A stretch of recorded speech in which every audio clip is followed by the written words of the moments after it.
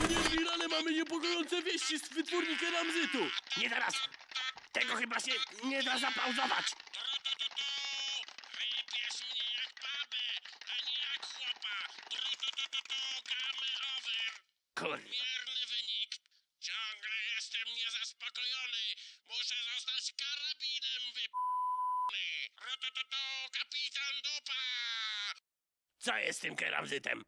Oto nagranie z kamery przemysłowej. Mariuszku, nie wezwałem cię tutaj, aby prosić cię o wybaczenie. Chcę cię poprosić o pożyczkę. Zaraz. Wybaczyć? Co? Rypię twoją żonę. A pożyczyć chcę na skuter dla dziecka. Zaraz.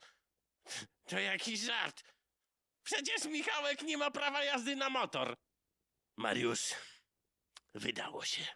Chcę pożyczyć na skuter dla siebie. Trzeba było tak od razu. Masz tu stówkę. A moja żona ma HIV.